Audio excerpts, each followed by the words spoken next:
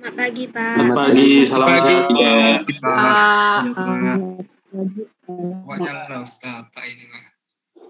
Kita patut bersyukur karena pada kesempatan kali ini kita uh, dalam keadaan sehat dan kita boleh diperkenankan untuk berhimpun bersama dalam sesi virtual untuk melanjutkan pembelajaran kita dalam hal ini yaitu matkul pengantar demografi ya. Dan bersyukur juga akhirnya kita sampai ke penghujung pembelajaran ya. Karena sekarang ini adalah sesi ke-14, sesi terakhir dalam konteks matkul pengantar demografi ya. Jadi apa kita patut mensyukuri itu berarti kita masih diberi kesempatan gitu ya menuntaskan pembelajaran kita gitu ya. Nah, di dalam ujungnya matkul pengantar demografi ini yang merupakan bagi saya merupakan klimaks yaitu kita akan belajar proyeksi penduduk gitu loh. Kok dibilang klimaks ya karena setahu saya proyeksi penduduk adalah sinergi dari ketiga komponen demografi yaitu fertilitas, mortalitas dan migrasi gitu ya. Jadi sebelumnya kan kita udah belajar apa itu demografi, terus fertilitas, kelahiran, mortalitas, kematian, migrasi, uh, mobilitas penduduk secara horizontal. Nah, semuanya itu kita sinergikan, maka kita akan uh, me, nah, menyatukan dalam proyeksi penduduk. Gitu. Nah, sebelumnya uh, kita akan bahas dulu apa itu proyeksi penduduk dan kenapa kita harus melakukan atau menghitung proyeksi penduduk atau jumlah penduduk di waktu yang akan datang gitu ya. Oke. Saya akan share screen. Udah kelihatan nih Serina PowerPoint saya?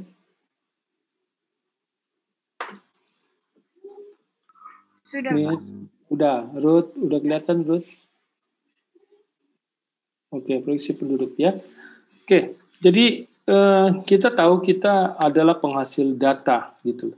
Tapi di dalam menghasilkan data itu kita eh, menyadari data yang kita miliki secara real adalah data yang terkini gitu loh. Terkini yang yang kalau istilahnya yang update gitu, yang update yaitu yang terkini, yang terkini seharusnya sebaiknya yang ya saat ini hari ini di mana kita uh, sedang menjalani itu loh. Seperti itu. Berarti kondisi terkini lah yang kita bisa uh, ketahui gitu. Itu lebih baik ya. Selain itu data yang ada data ya di waktu yang lampau waktu yang lewat gitu ya. Hmm. waktu dahulu gitu.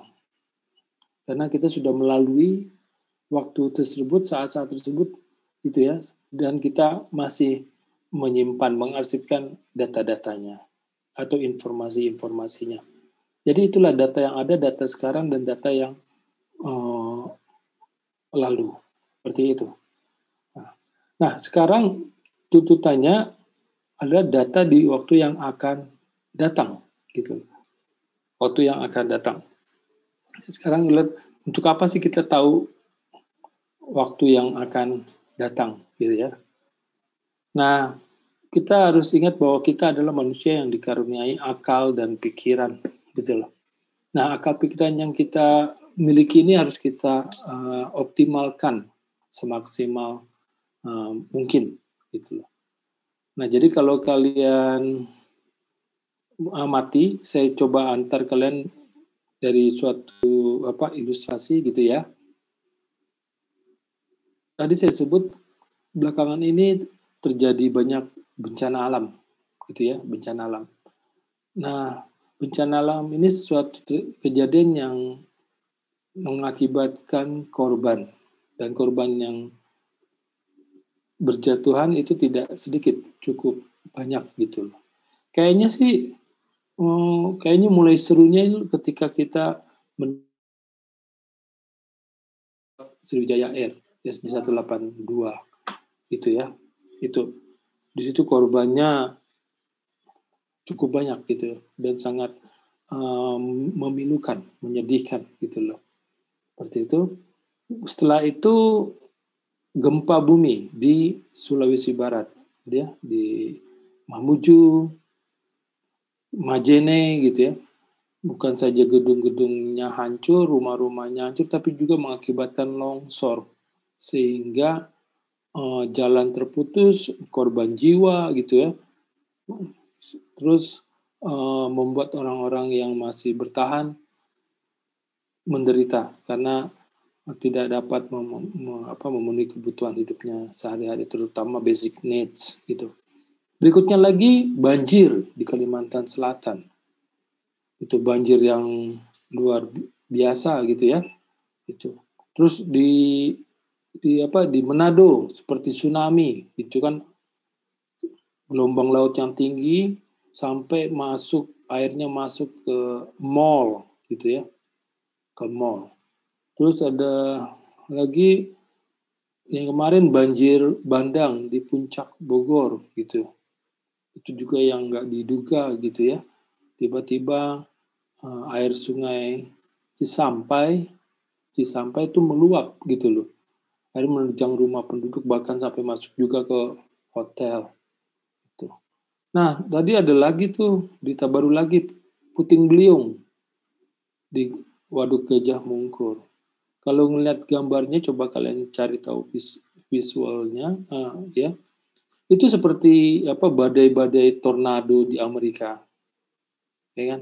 Wah ngeri banget kalau seperti itu kan, badai tornado yang seperti apa uh, tiang yang berputar dari langit ke bumi itu, terus dia bergerak, uh, apa yang uh, apa apa yang tersentuh terkena dia pasti bakal hancur berantakan.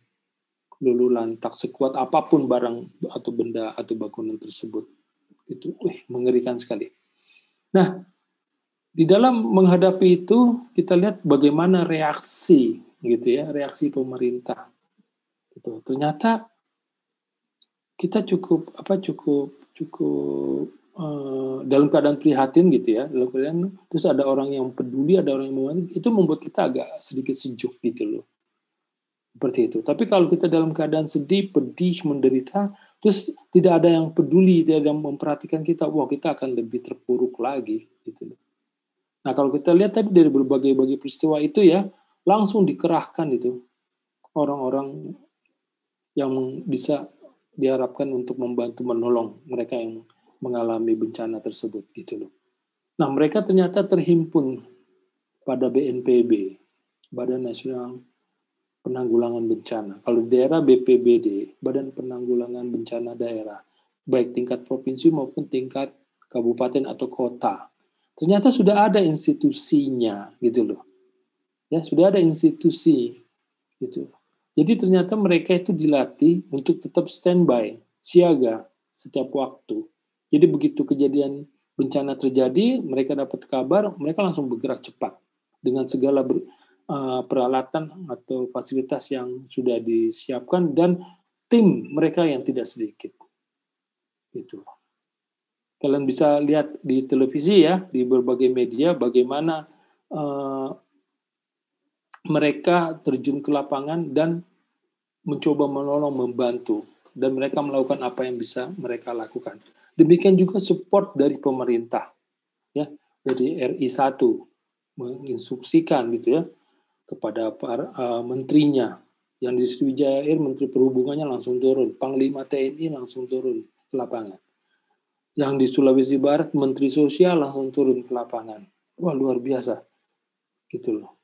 Sampai pejabat tinggi pun turun ke lapangan. Itu menyejukkan hati rakyat, ya menyejukkan hati rakyat. Nah, kalau kita lihat seperti itu, berarti itulah fenomena kehidupan manusia gitu loh ya. Fenomena kehidupan manusia. Gitu. Dan kita harus bisa uh, memahami, mengerti itu gitu. Dan itu merupakan bagian dari kehidupan. Ya, termasuk kita-kita ini yang sedang atau masih yang masih hidup gitu. Ya. Nah, yang saya mau ceritakan di sini adalah institusi BNPB atau BPBD itu itu belum lama dibentuk. Coba kalian cek. Sekarang sudah ada di tingkat provinsi maupun di tingkat kabupaten kota. Tapi itu belum lama. Itu berawal ketika oh, sebelum-sebelumnya terjadi bencana besar seperti tsunami. Ketika terjadi tsunami, korban jiwa itu waduh nggak sedikit, banyak sekali. Itu sangat memilukan, sangat memprihatinkan, menjadikan kita semua. Itu. Sampai akhirnya kok kita ada sesuatu nggak bisa mengantisipasi ya Nah, muncul pemikiran seperti itu. Kok nggak bisa mengantisipasi sih? Terjadi sesuatu sepertinya kita panik, kolang kabut. Eh, yang lebih menjadikan lagi sampai harus memakan korban jiwa yang nggak sedikit. Kok harus sampai begitu sih? Nah, makanya dibentuklah BNPB di tingkat nasional dan BPBD di tingkat provinsi maupun kabupaten kota. Itu. Jadi itu untuk masih bahkan yang untuk tsunami sudah dibuat sedemikian rupa dengan kemajuan teknologi yang dimiliki warning gitu kan gitu peringatan dini gitu itu sudah dibuat sehingga kita tidak menjadi korban akibat bencana tsunami tersebut gitu. Luar biasa itu pemikiran manusia ya gitu loh. Jadi padahal next seperti apa atau bencana itu kapan terjadi kita nggak nggak ada yang tahu kan? Ada yang tahu jatuh ada yang punya jadwal bencana itu akan terjadi? Enggak nggak ada yang tahu. Gitu. Paling kita memperkirakan memperkirakan bisa bisa tidak tapi yang perlu kita soroti adalah bagaimana kita tetap standby. Gitu loh mengantisipasi peristiwa bencana tersebut. Nah itu ya. Jadi sebagai manusia yang di, di, di, dikaruniai akal pikiran, kita nggak bisa tinggal diam, nggak bisa cuma menunggu, tapi kita harus standby, siaga, mengantisipasi next, gitu kan? Mengantisipasi yang akan datang. Paham maksud saya? Kenapa saya mengantar uh, cerita ini? Bisa ngikuti kalian semua? Halo, halo. Bisa, Pak. Bisa, gitu. Jadi kita itu, jadi nggak bisa. Kalau saya ingat dulu waktu ah, kecil gitu, kalau mau mau ada apa-apa, nanti siapin yuk untuk ini. Ah, ngapain? Nanti aja. Jalan ke sana yuk, jalan ke sini yuk gitu. Nah terus nanti gimana nginepnya, ongkosnya apa? Nanti aja gimana nanti. Aduh, waktu masih anak suka begitu, gimana nanti? Ntar gitu kan ya, ntar. Kan. Tapi kalau sekarang, kita dengan orang yang sudah uh, memiliki pemikiran yang uh, jauh lebih baik, nggak bisa. Harus dipersiapkan segala sesuatunya. Berarti itu. Ya. Nah, lebih jauh lagi saya antar kalian dengan institusi yang disebut dengan Bapenas. Ada di tingkat nasional Bapenas, Badan Perencanaan Pembangunan Nasional. Di daerah ada Bapeda, Bapeda Provinsi, Bapeda Kabupaten, Bapeda Kota ada. Badan Perencanaan Pembangunan Daerah. Jadi setiap kota di Indonesia, kabupaten kota maupun provinsi maupun nasional sudah punya program pembangunan sampai 5 tahun, 10 tahun, 25, 50 tahun ke depan. Seperti apa kota ini ke, ke, uh, kelak gitu loh. Sudah ada itu. Kalian bisa cek, silakan. Seperti itu. Jadi kita adalah manusia yang terencana. Gitu. Seperti itu. Ya. Nah, itu kira-kira yang mm, mau saya antar kepada kalian bagaimana kita mengantisipasi next time gitu, mengantisipasi waktu yang akan datang. Gitu. Berarti itu, ya. Nah, untuk konkretnya untuk uh, untuk konkretnya saya ingin memberitahukan kepada kalian untuk konkretnya nyatanya ya itu yang kita rasakan lah kita rasakan sampai sekarang saya pengen tanya sekarang di antara kalian semua nih siapa di antara kalian semua yang ada di sini yang mau makan beli beras di, untuk dimasak jadi nasi susah cari beras. Siapa? Ayo saya pengen pengen apa ingin ingin ingin info yang sebenarnya dari kalian. Ada nggak yang merasa kesulitan membeli beras? Maksudnya eh, beras itu jadi langka, terus harganya mahal gitu. Tentu belinya harus pakai pakai uang ya, bukan wah ada beras terus tinggal ngambil. Nggak dong. Ada ada yang susah. Kesulitan kok di sini kok saya mau mau beli beras? Nggak ada nggak ada nggak ada. Beras sus, susah ditemui. Ada nggak nggak ada ya kenapa saya mengarah ke, ke beras karena saya ingin mengaitkan dengan basic needs salah satu dimensi dalam kehidupan manusia adalah basic needs. Sebenarnya manusia itu terdiri dari berbagai-bagai dimensi atau multi dimensi. Ada kesehatan, pendidikan, perumahan, tenaga kerjaan, ya kan? Itu loh. Nah, salah satunya adalah basic needs. Basic needs adalah apa? Kebutuhan pokok. Apa tuh? Makan, minum, pakaian. Nah, sekarang kita concern ke makan makanan pokok kita kan nasi. Nggak tahu ya, saya sampai sekarang kalau ke, apa udah, udah, udah makan udah makan apa makan roti itu kan terus makan somai gitu ya terus uh, makan berbagai-bagai gitu ya terus ditanya Jeff udah makan belum loh emang tadi belum makan itu udah makan roti makan somai makan bakso gitu lo yang disebut makan apa sih? Oh ternyata bagi saya yang disebut makan tuh makan nasi gitu loh. Walaupun sudah makan ketoprak gitu kan ya makan. Udah makan belum gitu. Belum makan nasi rupanya. Itu itu udah tertanam dalam diri saya tuh ternyata. Jadi yang disebut makan tuh makan nasi. Nah, jadi nasi itu makanan pokok saya. Gitu. Dan ternyata syukur sampai sekarang saya gak kesulitan kalau mau makan nasi. Sangat-sangat mudah diperoleh nasi itu. Jadi beras mudah dibeli di mana-mana. Gitu loh. Itu basic needs. Gitu.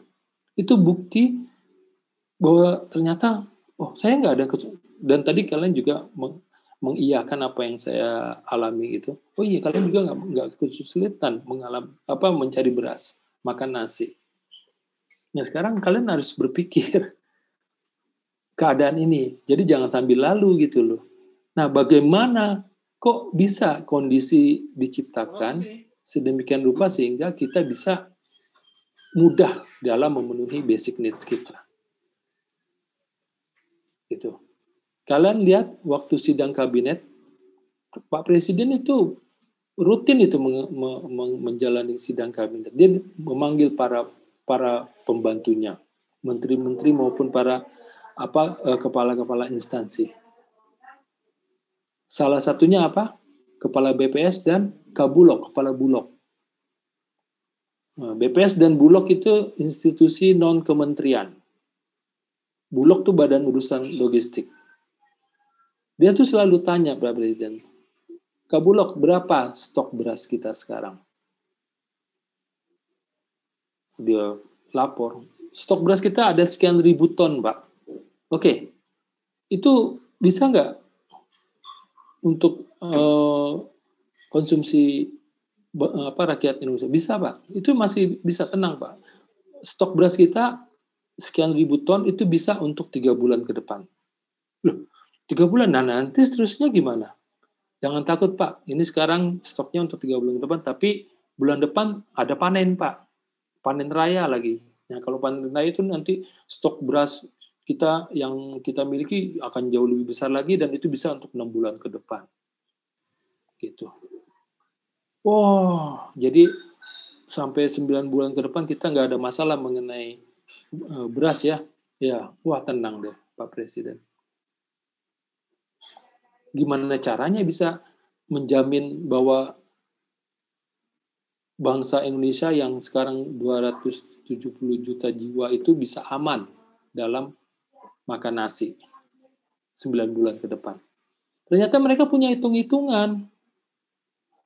Punya hitung-hitungan gitu loh. mulai dari yang dasar yaitu mereka tahu berapa konsumsi beras per kapita per hari rakyat Indonesia. Tahu mereka. Loh, dari mana tahunya itu? Per kapita per hari berasnya. Kalian tahu namanya Susana, Survei Sosial Ekonomi Nasional.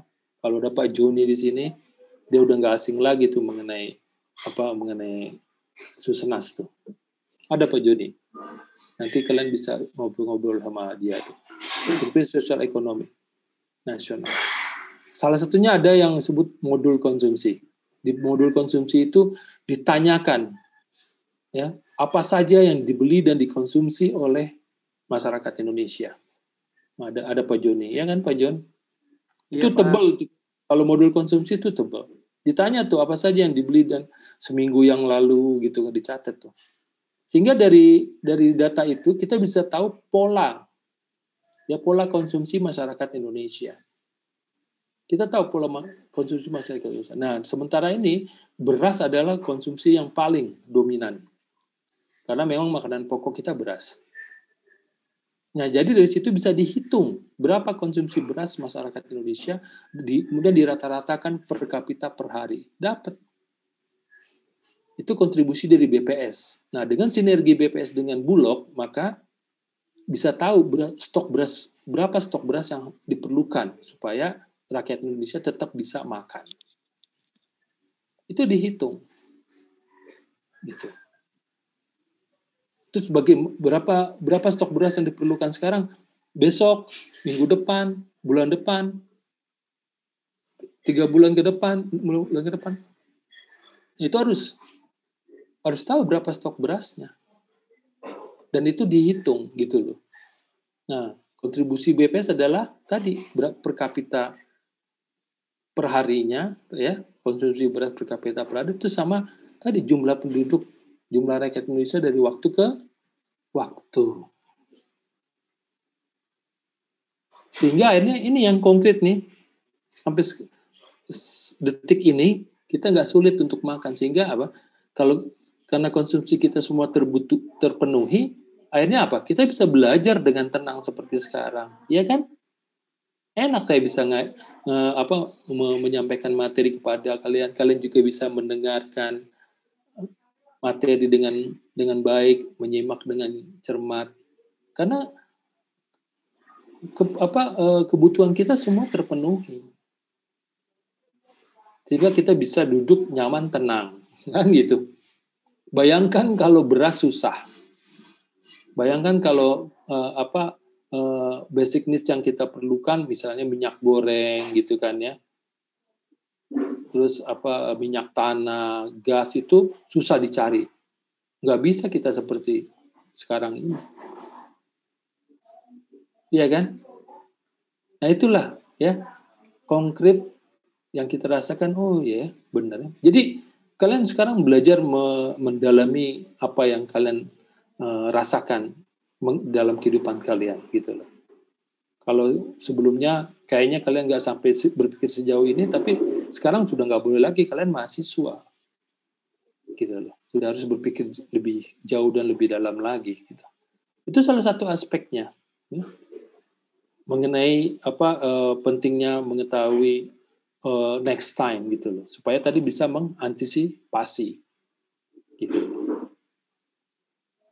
Nah, kemudian dimensi berikutnya apa yang sedikit akan saya ceritakan? Dimensi pendidikan. Kita pernah belajar kan bagaimana uh, mengenai struktur atau komposisi penduduk. Penduduk menurut umur, ya kan? Kita pernah belajar. Nah, sekarang kalau dari aspek pendidikan berarti kita harus tahu berapa jumlah penduduk menurut usia sekolah. Usia sekolah yang ditetapkan sampai sekarang adalah 7-12 untuk sekolah dasar, 13-15 SLTP, 1918 SLTA, 19 plus itu pendidikan tinggi. Dengan tahu jumlah penduduk 712 berapa, 5 tahun lagi 712 berapa, 13 15, 16 18 dan 19 plus, maka bisa diperhitungkan berapa sekolah dasar yang diperlukan, berapa sekolah SLTP, SLTA dan berapa pendidikan tinggi yang diperlukan. Demikian juga berapa guru yang diperlukan, dosen yang diperlukan dengan membandingkan membuat perbandingan atau rasio murid guru, rasio mahasiswa dosen itu bisa diperkirakan semua. Sehingga nanti bisa diantisipasi. Oh next kita perlu guru sekian banyak, kita perlu dosen sekian banyak. Gitu. Kalau itu nggak dihitung, jangan sampai nanti suatu waktu kemudian ternyata banyak mereka yang nggak terserap di dunia pendidikan. Harusnya mereka sedang sekolah, sedang belajar, atau mereka keluyuran main sana main sini. Bahaya kan? Yang terjadi memang seperti apa? Sekarang ini mengenai pekerjaan kan. Ternyata lapangan pekerjaan kita masih belum memadai sehingga masih masih eh, masih ada juga orang yang menganggur. Nah, itu tantangan sampai sekarang. Nah, itu di, dihitung tuh berapa penduduk usia kerja. Berapa penduduk usia produktif gitu loh. Yang 1564 ya, usia produktif 1564. Berapa kelak itu? Berarti lapangan pekerjaan yang di, di, disediakan harus dipikirkan itu. Itu salah satu tantangan bonus demografi. Itu.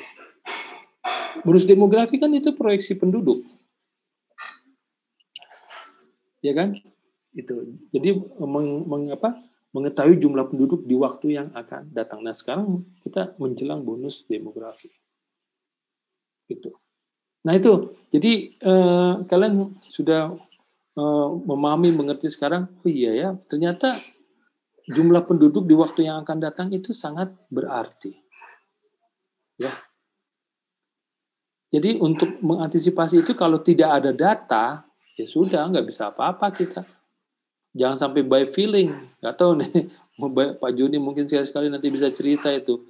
Karena nggak sedikit pejabat kita masih by feeling. Nggak based on data. Nggak tahu tanya tuh pengalaman Pak Juni. Making decision kok by feeling. Ya, tapi itu realita kita. Nanti teman-teman yang lain akan mengalami itu ketika kalian masuk dunia kerja. Sekarang masih uh, apa masih membekali diri. Itu. Ya. Oke. Bisa ngikutin semua tuh. Jadi kalian sekarang sudah tahu kenapa kita harus menghitung proyeksi penduduk gitu. Gimana? Ada yang mau kalian tanyakan sebelum saya lanjut?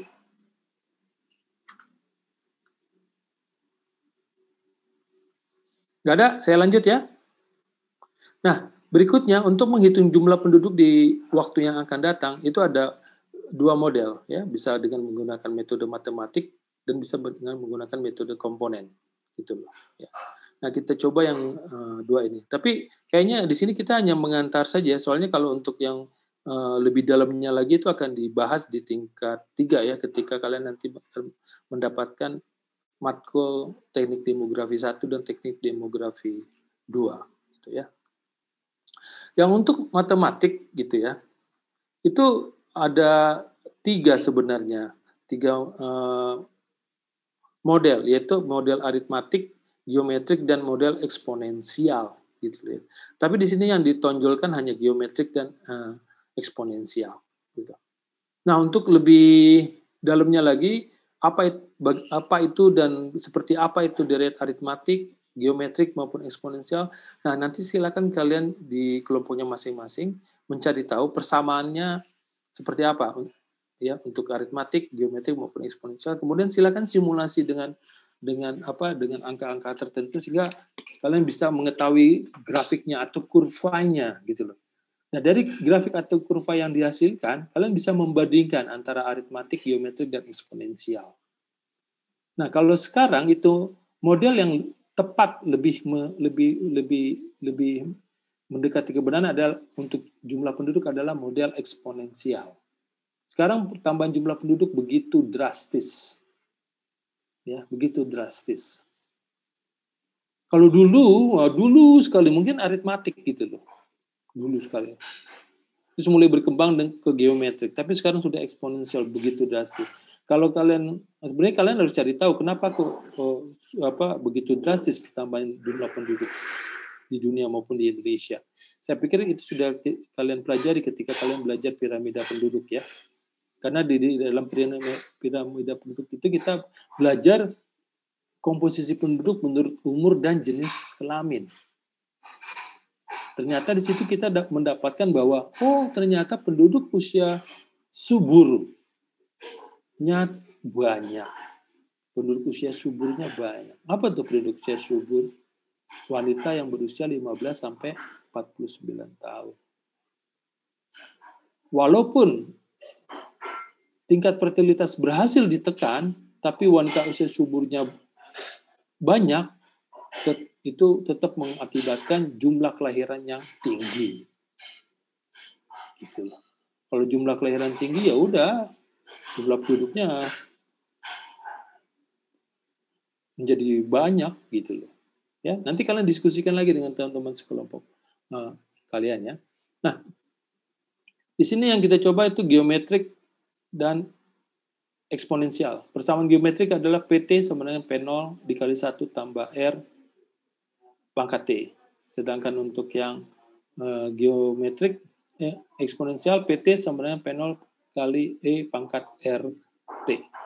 Nah, sebagai seorang statistisi, statistisi itu tantangan kalian untuk mengetahui R-nya berapa. Nah itu oh, kalian harus pinter-pinternya, cerdik-cerdiknya ya. Ada ruas kiri, ada ruas kanan. Bagaimana R yang tadi di ruas kanan itu dikeluarkan sehingga dia bisa berdiri sendiri. Itu keahlian kalian sebagai seorang statistisi. Enggak, enggak terlalu sulit itu bagi kalian seorang statistisi. Demikian juga untuk persamaan eksponensial. Bagaimana R di ruas kanan ini bisa dikeluarkan ya, dengan berbagai eh, bagai cara sehingga R-nya bisa berdiri sendiri. R sama dengan berapa? Gitu. Ingat aja kaidahnya ya kalau pindah ruas dari ruas kiri ruas kanan atau ruas kanan ke ruas kiri yang tadinya minus jadi plus plus jadi minus penyebut jadi pembilang pembilang jadi penyebut ya itu itu bukan hal sulit bagi kalian silakan di, di, di apa dicoba. Nah, ini contohnya deret geometrik dan dan eksponensial. Nah, dari dari angka yang di, di diperoleh ternyata geometrik pertumbuhannya cuma lebih lambat dibandingkan eksponensial. Kita lihat angka yang diperoleh dari persamaan eksponensial itu lebih banyak, lebih tinggi dibandingkan geometrik. Ya, baik untuk mengetahui jumlah penduduk antar sensus maupun jumlah penduduk setelah sensus. Dengan dasar hasil sensus penduduk tahun 90 dan hasil sensus penduduk tahun 2000. Ini ya. Tahun 98 kan antara 90 2000. Sedangkan apa yang 2001 tidak jauh setelah sensus. Jadi untuk yang eh, metode matematik itu waktunya tidak lama. Gitu ya tidak lama. Nanti kalian bisa coba ya di sini. Jadi untuk menghitung jumlah penduduk di antar sensus atau uh, segera setelah sensus, ternyata nggak susah gitu loh. Kemudian yang berikutnya dengan metode komponen. Nah kalau dengan metode komponen, ingat lagi nih, ini sebenarnya udah kalian pelajari dan kalian sudah paham gitu. Cuma notasinya mungkin agak berbeda. Sama persis dengan balancing equation. Gitu loh. Ya.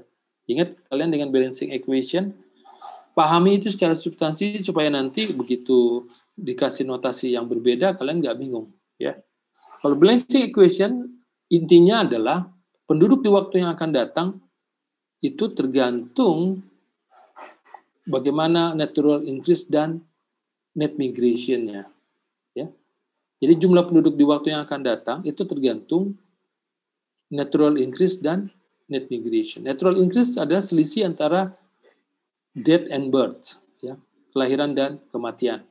Sedangkan net migration merupakan selisih antara in dan out migration. Itu. Ingat ya, balancing equation. Nah, seperti itu. Jadi tolong ingat lagi. Nah, jadi dengan begitu kita memegang suatu uh, pendapat bahwa jumlah penduduk di waktu yang akan datang itu tergantung dari tiga komponen demografi, yaitu kelahiran, kematian, dan migrasi. Gitu. Nah, itulah yang menjadi dasar proyeksi penduduk, gitu ya. Nah, proyeksi penduduk selalu dihitung ya, berdasarkan hasil SP. Jadi setiap hasil SP yang diperoleh itu segera dihitung jumlah penduduk di waktu yang akan datang. Biasanya 25 tahun ke, de ke depan gitu. Nanti silakan cek ya, cek di provinsinya masing-masing sesuai dengan lokus penelitian kelompoknya itu. Setiap hasil SP pasti ada proyeksi penduduk. Gitu. Sampai yang hasil SP terakhir 2010 itu langsung dihitung proyeksi penduduknya sampai 25 tahun ke depan. Hasil SP 2020 sudah rilis belum ya? Belum rilis. Satu sekarang tanggal berapa? 21 ya?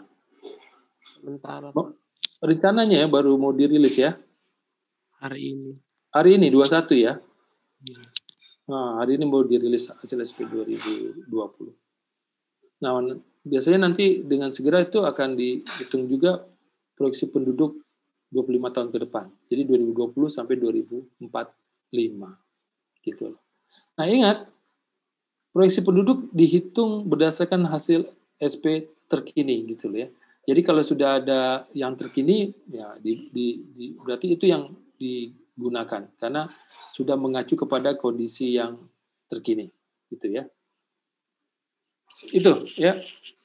Nah, kemudian untuk menghitung proyeksi penduduk harus ada data dasarnya gitu ya. Data dasar diambil dari hasil SP SP sebelumnya dan juga hasil SUPAS sebelumnya. Jadi dari beberapa titik yang lalu sampai dengan yang terkini itu nanti dilihat trennya, dilihat polanya, dilihat kecenderungannya, gitu, ya, itu ya. Jadi dihimpun dulu sumber sumber datanya. Gitu. Nah, yang yang diperlukan tadi penduduk menurut umur dan jenis kelamin, tapi yang sudah di smoothing ya, yang sudah di smooth Semut itu mulus ya, semut mulus. Memangnya datanya tadi nggak mulus ya? Iya, datanya nggak mulus. Nanti akan ditunjukkan data yang tidak mulus uh, tersebut. Uh, bentar ya, bentar dulu ya.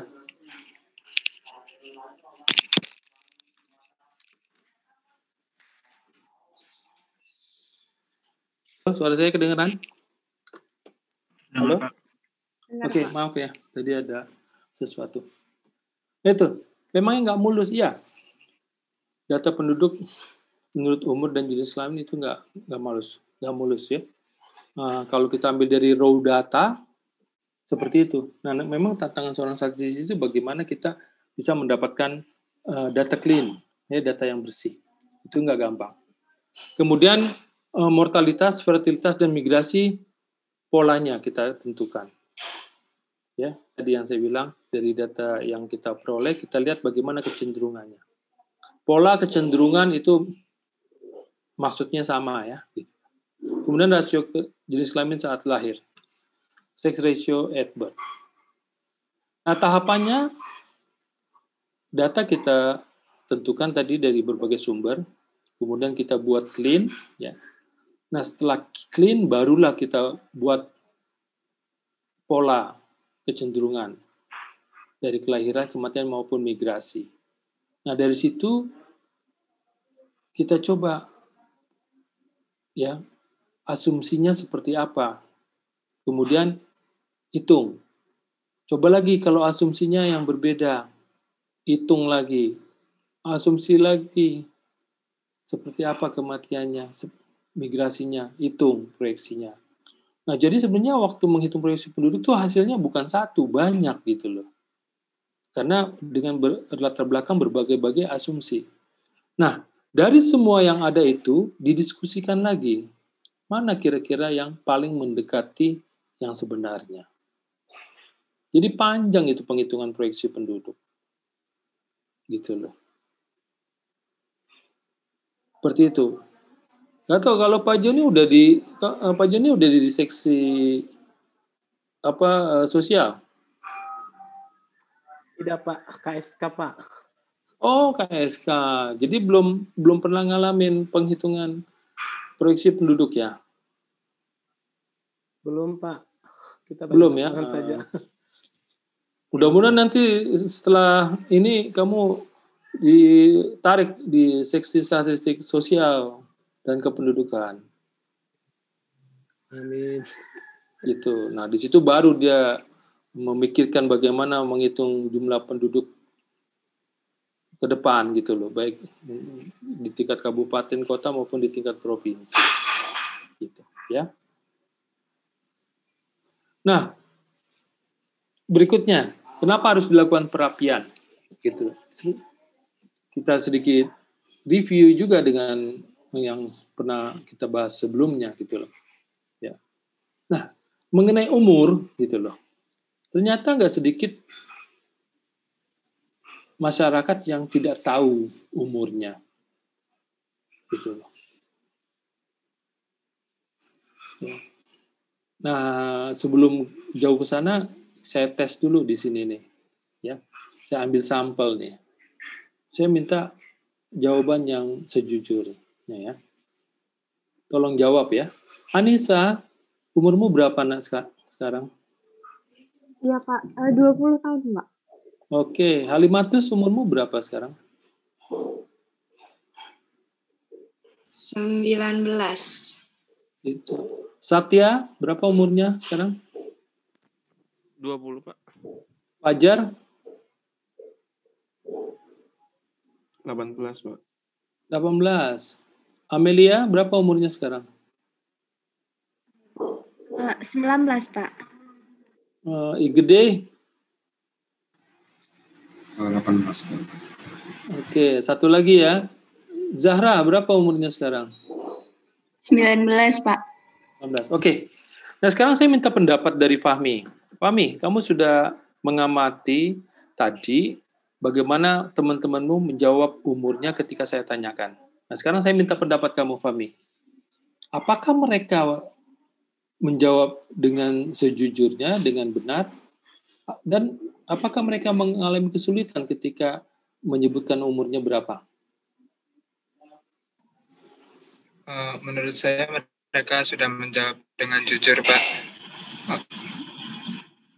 Dan mereka uh, sudah tahu uh, bagaimana cara menghitung umur karena sudah pernah diajarin sama hmm. dosen.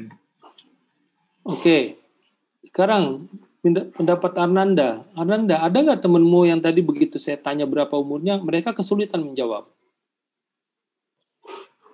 Tidak ada, Pak. Jadi mereka nggak ada yang mengalami kesulitan sama sekali ya mengenai iya. umur? Lancar, Pak. Lancar ya, oke. Nah sekarang berikutnya.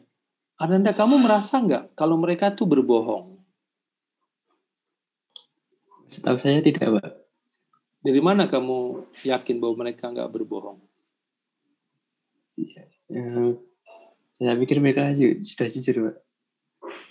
Iya, dasarnya apa? Tidak ada perasaan aja. Ah. Ayo Ananda, jangan by feeling dukun itu nanti.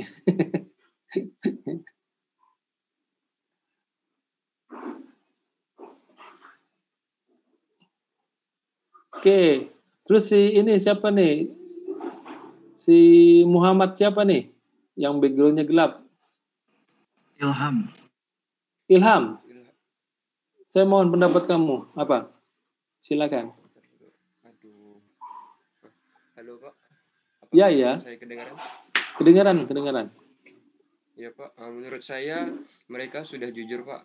Uh, dikarenakan uh, penyebutan umurnya yang sekitar yang disebutkan 20 tahun dan 19 tahun sesuai dengan uh, apa ya Pak? Um, uh, mukanya Pak wajahnya. Jadi wajahnya itu sesuai uh, segitulah umur 20 tahun dan itulah wajah orang yang berumur 20 tahun Pak.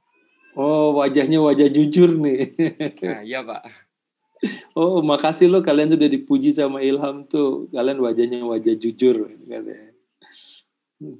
Yakin kamu nggak dibohongin sama siapa tadi itu sama si Amelia kamu nggak dibohongin sama dia? Dibohongin kamu, Am. Yakin Pak, saya yakin mereka jujur Pak. Oh, saya yakin ya. Wih, Amelia jadi tersipu-sipu. Gitu. Satu lagi. Si Rinald. Bagaimana pendapatmu mengenai teman-teman? Eh, menurut saya sih udah jujur Pak. Sebelumnya juga kan ada kami buat per kelas itu umur tanggal lahir satu kelas per anak-anak. Hmm. Jadi menurut saya sih udah jujur Pak. Jujur. Jadi kamu nggak merasa dibohongin tuh? Iya. Tidak. Ya. Oh, Oke. Nah, berarti ini bukti ya kalau kita ini bukti bahwa mengenai umur tidak masalah sedikit pun bagi kalian. Betul ya? Tidak masalah sedikit bagi kalian. Bahkan tadi si Rinat bilang di kelas sudah dibikin listnya. Ya, tanggal lahir kalian sudah dibikin listnya sehingga tahu siapa yang siapa dan kapan berulang tahun mereka kalian akan tahu sehingga kesempatan bagi kalian untuk begitu ulang tahun tertentu halo happy birthday ya gitu. Selamat ya. Semoga jadi orang pandai tetap tekun gitu. Salam. Jangan lupa kuenya dong misalnya. Gitu. Jadi mengenai umur no problem. Dan bahkan itu merupakan momen untuk bisa membuat uh, di antara kalian menjadi lebih dinamis lagi. Ada suasana yang membuat kalian bisa bersama dan bisa bersuka cita, bisa gembira. Gitu ya. Kalau umur di kalangan apa uh, orang-orang yang berpendidikan atau di kalangan orang-orang kota. Ya. Ini satu fakta. Nah, tapi untuk saudara-saudara kita di remote area, jangan lupa nih ya, remote area, mungkin kalian juga punya saudara atau keluarga di sana yang tinggalnya di kepulauan, bahkan di pulau kecil, gitu loh. Saya pernah di kepulau uh, bertugas di apa di Nias, Nias Selatan itu ada kepulauan ratusan pulau-pulau kecil dan di pulau-pulau kecil itu ada orangnya, ada penduduknya. Dan di sana untuk menjangkau mereka saja susahnya luar biasa. Karena nggak punya nggak ada angkutan umum. Kalau orang di kepulauan kecil itu angkutan umumnya apa? Kalau kita di darat enak ada angkutan umum banyak, apalagi di Jakarta, Bogor angkutan umumnya, waduh berlimpah angkutan umum itu dari angkot, dari ojek online gitu ya, baik ojek mobil, ojek motor, Transjakarta, kereta, taksi, wah banyak macam-macam deh angkutan umum. Tapi kalau untuk mereka yang di kepulauan, nggak ada angkutan umumnya. Jadi akses saja sulit. Kalau akses sulit ya sudah, nggak berkembang lah tempat itu. Gitu. Sehingga mereka jadi orang yang dari sehari ke sehari hidup tanpa mengikuti perkembangan teknologi hidup ya hidup, waktu berlalu ya sudah, jalani, hanya sekedar itu. Gitu. Momen ulang tahun bukan sesuatu yang berarti bagi mereka. Gitu. Sehingga kalau ditanya umurnya berapa, nggak tahu. Gitu. Berarti itu. Nggak tahu mereka umurnya berapa. Karena bukan hal yang familiar gitu loh. Beda dengan kita tadi ya, dengan kalian ya. Gitu loh, beda. Seperti itu. Terus yang tinggal di pegunungan, yang tinggal di lembah, di tepi-tepi sungai. Gitu loh. Mereka nggak tahu umurnya berapa. Gitu. Seperti itu. Nah, jadi kalau nggak tahu umur, terus kadang main asal, asal sebut saja kan gitu ya. Gitu. Nah, kalau asal-asal sebut, biasanya kita lebih menyebut angka berapa? Kalau orang Indonesia punya khas, ciri khas tuh. Khasnya apa? Angka yang berakhiran 0 atau berakhiran 5. Itu ciri khasnya orang Indonesia tuh kalau menyebut. Tahu.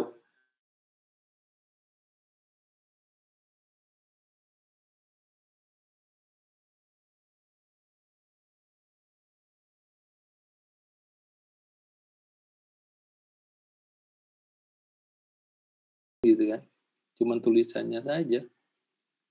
Tapi konkretnya kembali satu rupiah oh, nggak ada itu. Nggak tahu tuh dunia bisnis mereka tuh seperti itu. Mungkin supaya kita menarik kali ya bagi kita gitu ya. Enggak, nggak mahal kok, nggak nyampe 200 ribu. Iya, kurang satu rupiah. gitu. Gitu. Nah, beda lagi kalau orang Cina. Kalian cari artikelnya. Orang Cina tuh menyebut, apa kalau nyebut angka gitu ya. Bisa ang, bisa yang angka 3, bisa angka 6, bisa angka 9. Loh kok bisa Pak dia? Gak seperti kita angkanya 0 Ternyata cara berpikir mereka beda dengan cara pikir kita. Mereka juga punya uh, sesuatu yang mempengaruhi bagaimana mereka berpikir. Misalnya apa? Bagi mereka, naga itu binatang yang paling hebat. Kita sampai nggak kepikiran bahwa naga itu binatang yang paling hebat. kita kita malah nggak nggak nggak apa nggak berpikir kalau naga itu ada. Kalau bagi mereka ada naga, ular naga ada. Dan itu binatang yang mereka kagumi itu ular naga. Kalau nggak uh, percaya lihat kalau acara uh, hari raya mereka kan ada yang disebut dengan barongsai. Itu kan ular naga itu. Seperti itu. Bahkan kalau kalian uh, tahu pendekar jago jago bela diri namanya siapa? Bruce Lee. Nah, Coba kalian, mungkin kalian ada yang hobi dengan si Bruce Lee, orang yang jago, berkelahi. Jurus andalannya apa? Jurus naga. Gitu. Itu bagi mereka orang Cina. Nah, perhatikan tahun-tahunnya orang Cina. Beda dengan kita, Januari, Februari. Kalau mereka ada tahun kelinci, gitu ya. Ada tahun ah, binatang-binatang ah, tertentu lah. Sampai ada tahun naga. Nah, itu yang mempengaruhi mereka. Karena waktunya yang berubah, jadi mereka menyesuaikan dengan tahun naga. Makanya begitu tahun naganya akhiran tiga, wah mereka cenderung ke angka tiga. Jadi mengikuti ke tahun naga. Itu yang digit preference. Cari artikelnya ya mengenai itu. Ada itu artikelnya supaya kalian bisa lebih konkret lagi memahami pemikiran orang mengenai umur ya kemudian yang berikutnya ya underestimate gitu lah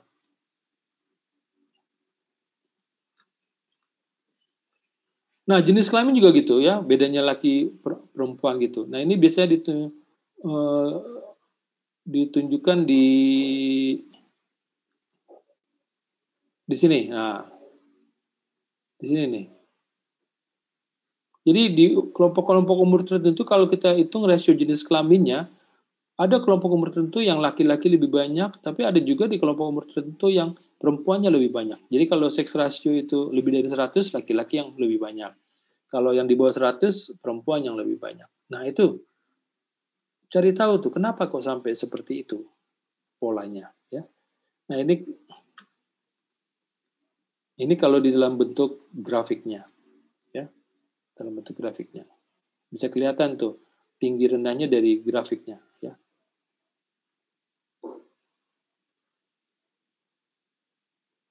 Oke, nah terus untuk mengetahui akurasi dari umur dan jenis kelamin itu bisa dihitung. Ya, tapi tadi seperti yang saya bilang di awal, ini dibahas nanti ketika kita masuk ke mat matkul teknik demografi 1 dan 2. Ya, bisa dilihat dari sini.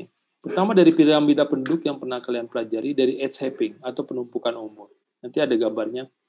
Kemudian bisa juga dilihat dari hasil penghitungan indeks Whipple maupun indeks Mayer maupun indeks United Nations. Dari situ akan dilihat bagaimana akurasi jumlah penduduk menurut umur dan jenis kelamin. Ya. Nah ini Contohnya nih, penumpukan umur, age shaping dari piramida penduduk dari uh, raw data. Lihat pada jumlah penduduk umur-umur tertentu itu terjadi uh, apa batang horizontal yang lebih panjang, yang menunjukkan jumlahnya jauh lebih besar dibandingkan umur di sekitarnya. Seperti itu. Aneh kan? Gitu loh. Kalau kita, ini ini dituntut kita yang berpikir ilmiah ya. Kalau untuk anak-anak ini seru kayaknya, gitu gambarnya. Oh bagus pak, ini seru kok. kalau untuk anak-anak. Tapi kalau untuk kita yang berpikir ilmiah, wah aneh ini kok seperti ini. Apa mungkin pada umur-umur tertentu saja itu jumlahnya jauh lebih banyak dibandingkan umur yang ada di sekitarnya. Dan itu secara periodik gitu kan, setiap lima tahun, lima tahun, lima tahun begitu. Gitu ya. Nah itu contohnya ya. It's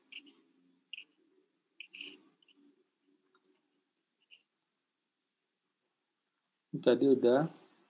Nah, yang terakhir, halo, halo, masih dengeran suara saya nih, Serena? Masih, Pak. Tapi Bapaknya stop share ya, Pak? Oh, kok stop share? Udah nggak kelihatan di saya share, screen. Oh, udah nggak kelihatan ya?